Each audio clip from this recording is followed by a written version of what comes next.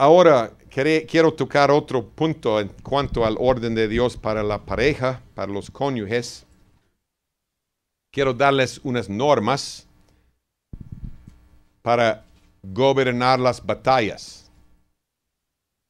Porque sí habrá batallas, luchas, peleas, roces. Quiero darles algunas, algunos consejos sobre cómo pelear la buena batalla, pero con la esposa o el marido. Porque sí hay diferencias y desacuerdos, pero hay cosas que podemos hacer o no hacer que a la larga van a hacer la diferencia entre felicidad y un hogar horrible, un ambiente pesado. Como hemos visto, no es pecado enojarse, según Efesios 4:26. Pero la forma en que manejamos el enojo, la ira, eso sí determina si pecamos o no pecamos. Ahora, unos consejos. ¿Cuántas parejas aquí? Una pregunta primero. ¿Cuántas parejas han tenido roces? Bueno, no, mejor dicho, hay una pareja aquí que nunca ha tenido ni un solo roce pequeñito. ¿Diferencia? No. Hay diferencias. Máxime en el primer año, porque hay muchos ajustes que hacer. Pero, consejo número uno, Mateo 18, 15. Por tanto, si tu hermano peca contra ti, ve y repréndele estando tú y él solos. Consejo número uno, no es eso. Eso es solo la base para este consejo.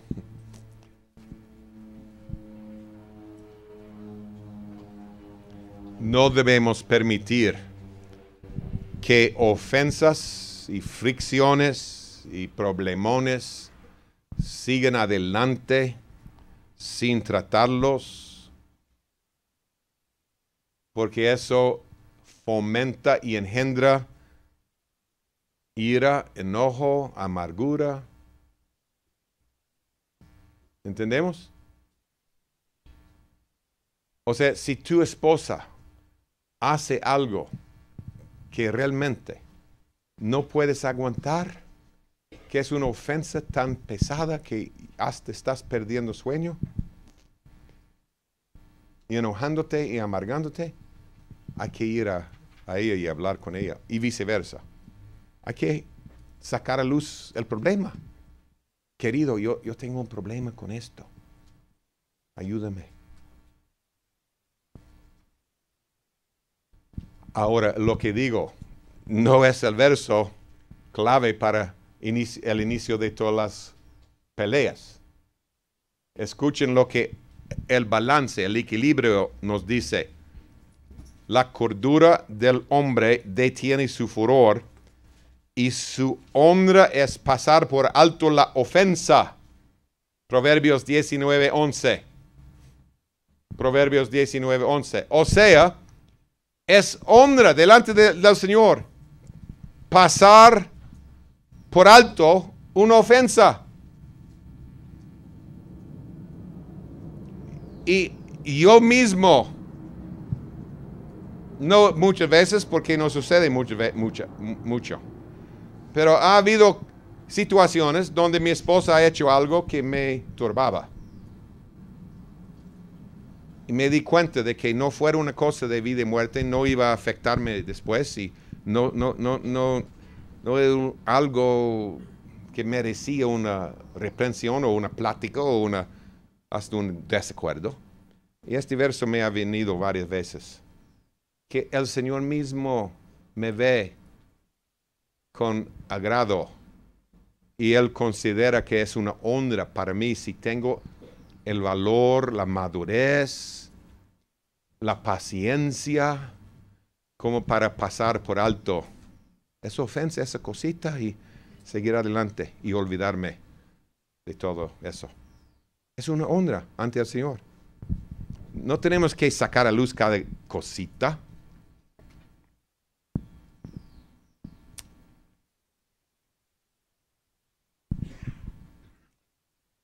Dos, consejo número dos, Zacarías 7, 10 y 8, 17. Zacarías 7, 10 y 8, 17. Dice 7, 10. No oprimáis a la viuda, al huérfano, al extranjero, ni al pobre. Ni, escuchen esto, ni ninguno piense mal de, en su corazón contra su hermano. Ay, cuántas veces fallamos allí. Que ninguno piense mal en su corazón contra su hermano. Y el Señor lo repite en 8, 17. Ninguno de vosotros piense mal en su corazón contra su prójimo. Una clave en el matrimonio para discutir las diferencias y resolver los roces. Nunca debemos pensar mal del otro. Nunca debemos tener dudas de su sus motivos. ¿Por qué hizo, hizo ella tal y tal cosa? Seguramente es para enojarme. Es para lastimarme. Es porque ella sabe que eso me, me irrita. Si tú andas así, no vas a tener un matrimonio feliz. Pensando mal de tu compañero. Ah, yo sé que ella quemó mi pan tostado esta mañana a propósito para vengarse de algo que le dije que no le cayó bien. Entonces, a propósito, salió quemado mi pan. Eso es pensar mal en, tu corazón del otro. Y esa vida no va a terminar bien. Consejo 3. Cuando surge un roce, una, una fricción, consejo 3, tal vez podría ser lo más importante, y es volver nuestros corazones al Señor inmediatamente pidiéndole ayuda.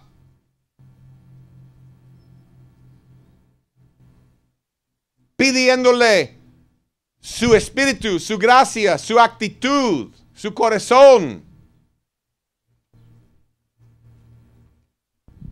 Cuando surge una fricción, una ofensa,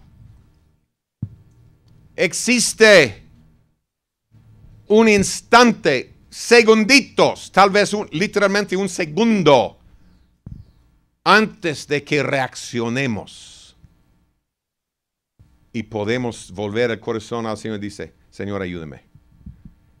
Señor, que yo maneje este asunto, esta cosa, de una forma agradable contigo, delante de ti. Un paso pequeñito, de poca importancia, parece, pero es clave. ¿Recuerdan lo que Nehemías hizo cuando el rey le dijo, ¿qué, tienes? ¿Por qué estás triste? ¿Qué dijo? ¿Qué dice? ¿Cómo respondió Nehemías? Lo primero. Hay que leerlo otra vez. Dice, inmediatamente él oró. Antes de responder, oró. Ora, Señor, ayúdame. Ayúdeme. Pasos pequeñitos son importantes. Como hemos visto, la falta de gratitud es el primer paso hacia el infierno. Darle gracias al Señor es el primer paso hacia sus atrios. Una cosita. Y como hemos visto, Faraón diez veces endureció su corazón y diez veces el Señor respondió endureciéndolo más. Sí, un, paso. Endureció su corazón un poco. Entonces el Señor tomó la iniciativa de endurecerlo más. Y él después un poquito más y el Señor más. Y lo opuesto sucede. El Señor, si ve que tu corazón se suaviza, Señor, ayúdame. No tienes que hincarte delante de tu compañero y empezar a orar y a, a interceder. Señor, ayúdame a tratar con esta mujer que está ofendiéndome. No, no, no.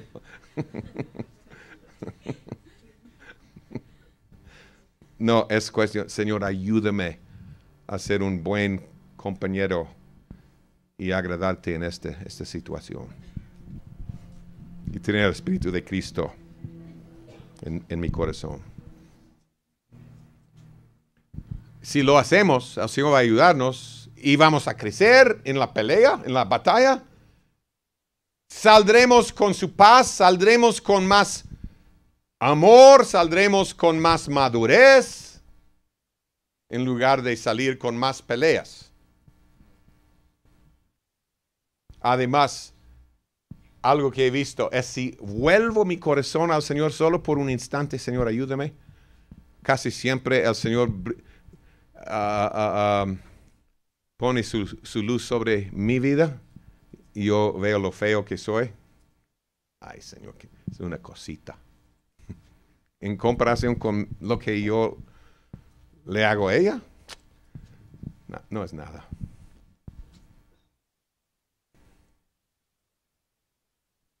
Su presencia nos ayuda a corregir un espíritu equivocado, una actitud equivocada. Antes de iniciar la plática. Ahora, punto cuatro. Pedirle a, al compañero perdón. Desde el principio, perdóname. Tal vez tengo una actitud equivocada. Perdóname si te he ofendido en algo. Pero platiquemos sobre este asunto porque pidiéndole perdón a, alguien suavice su corazón. Amén. Y además, quita los, los muros y demuestra que tú reconoces que no eres perfecto. Punto 5. Primero de Pedro 3:7 debemos tratarnos el uno al otro como somos, hermanos en Cristo. Amén. Recuerden, ella es coheredera de la herencia eterna. Punto 6. Apunta al problema y no a la persona. ¿Entienden eso? atacar el problema, no a la persona.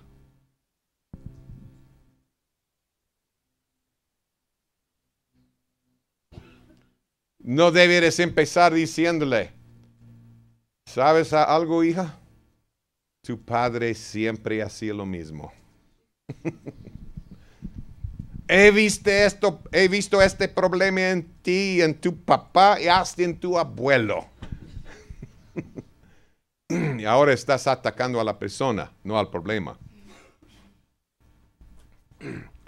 Además, debemos aprender a ser francotiradores y no bombas atómicas. Apuntando el problemita. No diciendo, y la verdad es que nada de lo que hagas en esta área, esta cocina me agrada. No es una bomba atómica. No, un francotirador dice, pero es un problemita. Yo, yo quisiera ver un cambio. Ayúdame.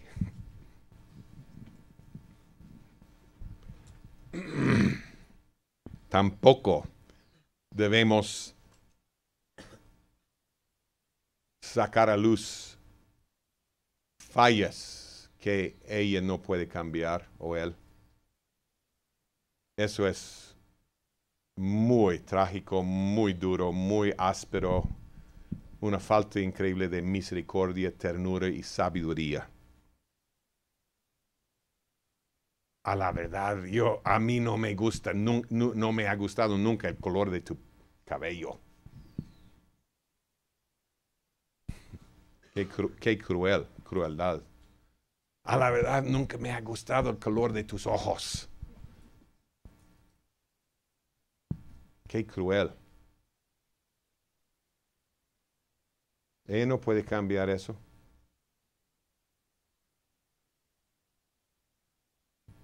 Tampoco debemos mencionar problemas que no necesitan ser cambiados. No solo problemas que no puede cambiar, sino cosas que no necesitan ser cam- cambiadas. Idiosincrasias. ¿Cuántos tenemos alguna idiosincrasia? ¿Mm? Cada ser humano, ¿no? Cada ser humano tiene cosas que hace. Y por eso uno puede hacer bromas, incluso de, en dramas. Solo tiene, uno tiene que ponerse aquí enfrente y empezar a fingirse como uno de los maestros y todos saben quién es. sí. ¿Cuál maestro hace tal y tal cosa? no van a hacerlo, ¿no? Pobres los maestros, nosotros. Pero hija, no me gusta la forma en que mueves las manos cuando estás hablando. y tus gestos. No, no los aguanto. Idiosincrasia no, eh, es el problema y son cosas que no necesitan ser cambiadas. Amén. Y no estás atacando al problema, sino a la persona. Punto 7 es buscar la mansedumbre genuina y verdadera. Porque la mansedumbre es esencial para resolver problemas y diferencias. Antes de iniciar la plática, la discusión, la pelea a veces, ¿no crees que sería bueno que nosotros todos reconociéramos de antemano que hay una posibilidad? Y sí, es una posibilidad, pero muy remota. Pero existe la posibilidad remota de que yo esté equivocado. ¿Sí o no? Algún, algún no capten la idea. La sí, tener esa actitud es orgullo, ¿no? Es casi imposible que yo, yo esté equivocado, pero la mansedumbre dice, sí, tal vez yo soy el problema y no ella. Sí, es, es la mansedumbre. Tal vez soy yo quien está equivocado. Gálatas 6.1 dice, hermanos, si alguno fuere sorprendido en una, alguna falta, vosotros que sois espirituales, restauradle con espíritu de mansedumbre, no con espíritu de jactancia y con mucha seguridad. Segundo de, segundo de Timoteo 2, 24, 25 dice lo mismo, que debemos tratar con otros con mansedumbre. Saben que la naturaleza de nuestra carne es repugnante. Y tal vez ella ha hecho alguna cosita, pero si tú ah, te acercas con altivez y jactancia y seguridad de su, tu opinión y sentir, es repugnante. Es súper desagradable. Y saben que la mansedumbre nos capacita para, en lugar de subir el volumen de la voz por tres grados, la mansedumbre nos ayuda a bajar el volumen de la voz, hijita. sí, muy importante. Punto 8. Nunca debemos usar bombas de relojería. ¿Ustedes saben qué, son bombas de relojería en lo natural?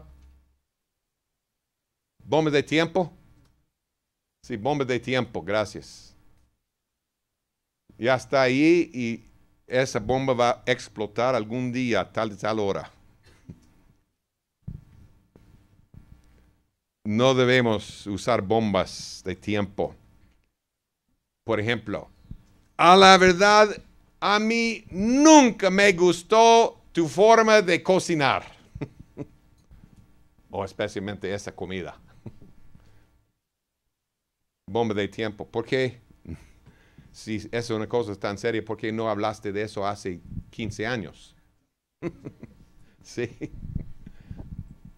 Qué feo, qué cruel otra vez. Durante años, cada vez que me has dicho tal y tal cosa, eso me ha molestado, pero mucho. ¿De veras? Bomba de tiempo, qué feo, qué cruel. Punto nueve. Son claves muy importantes, hermanos, de veras. Porque si hay roces, hay desacuerdos y podemos arruinar el hogar si no seguimos el consejo bíblico sobre cómo discutir y platicar y resolver problemas y diferencias. Debemos eliminar dos palabras de nuestro vocabulario cuando estamos discutiendo, aun con hermanos, amigos, con lo que, con cualquier persona. Debemos eliminar dos palabras. ¿Alguien sabe cuáles son las palabras? ¿Mm? Siempre y nunca. Tú nunca me hablas con ternura. De veras. Nunca en mi, vida te he dicho algo tierno. Tú siempre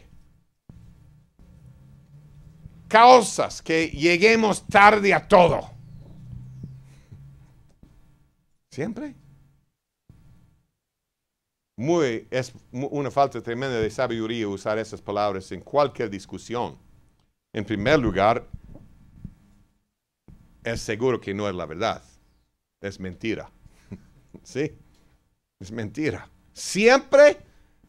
Y la persona, la otra persona inmediatamente va, a ponerse a la defensiva. Siempre. Y ella empezará, empezará a pensar en 100 ocasiones donde no es cierto. Entonces, de aquí, de ahí en adelante, tu razonamiento, tus palabras ya no tienen validez. Ni eres lógico. de veras, hay que eliminar esas palabras. En cualquier discusión en la vida humana. Porque son muy dañinas. Punto 10. Nunca debemos discutir el problema con otros máxime con amigos. Nunca debemos discutir algo sobre problemas en la casa con gente de afuera, a menos que sea el pastor, obviamente, pero ningún amigo. En primer lugar, revela la desnudez de nuestro compañero. Es, es lo que la Biblia habla. Cuando habla de ver la desnudez de alguien y revelar la desnudez, como Cam hizo, ¿recuerdan? Hijo de Noé. No es solo algo físico. Recuerden, en Génesis estudiamos que la desnudez no es solo físico. Adán y Eva tenían sus delantales ya hechos de, hojas de higo. Pero dijeron, Señor, cuando él, dije, dijo, cuando tú entraste, estamos desnudos. ¿En qué sentido? Ya tenía su ropa hecha. Pero él sentía el deseo de esconder algo mucho más que lo físico. Él sentía una desnudez espiritual. Quería encubrirse y esconderse. Entonces la desnudez no solo es algo físico. Y, en el caso de Cam hay una lección, dos lecciones y, una, y veremos la otra pronto. Pero en el caso de Cam, estaba exponiendo a su padre afuera. Y es, eso trae juicio sobre cualquier Otra vez, no exponiendo algo físico, no, exponiendo sus problemas, sus debilidades, sus fallas. Un hijo que sale y dice, mi papá es así, así. Estás exponiendo la desnudez de tu papá afuera. Eso trae juicio. Si tú lo has hecho alguna vez, hay que arrepentirte. Señor, perdóname. Si tienes que juzgarme, que el juicio me ayude a bien. Lo mismo con la esposa. ¿No debieras descubrir, exponer su desnudez afuera? Ah, es que mi esposa es así, esa. Qué feo. No es la culpa de ella que tiene que vivir contigo. ¿Entienden? Lo mismo con, con Noé, con cualquier miembro de la familia. Tiene que vivir con, contigo. Entonces tú vas a darte cuenta de sus debilidades.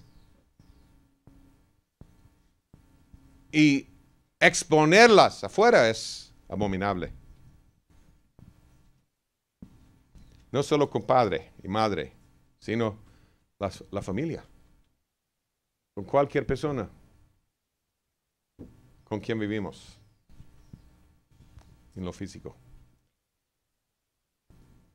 Pero al contar el problema afuera, también ustedes lo han visto, cada vez es peor, crece y es más emocionante, más impactante. La primera vez, ¿sabes lo que ella me hizo? se enojó tanto, amigo. Mi esposa, imagínate, imagínate, mi esposa agarró una piedra y me la tiró así.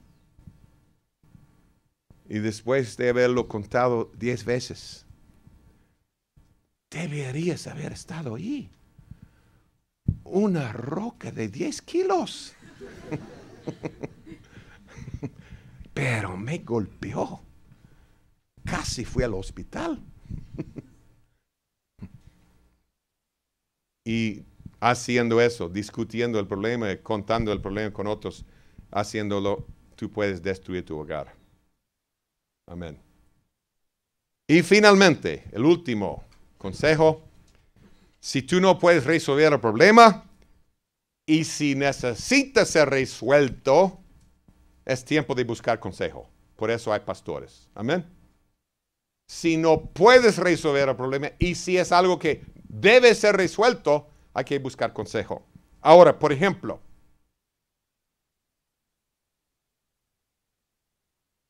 pero ella quiere acostarse en el lado izquierdo.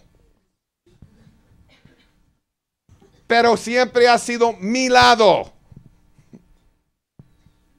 no pueden resolver el problema, entonces ¿qué? ¿Hay que ir al pastor? ¿Qué? ¿Creen que tienen que ir al pastor? no lo creo. Creo que es cuestión de mansedumbre y amor, ¿no? resolver el problema.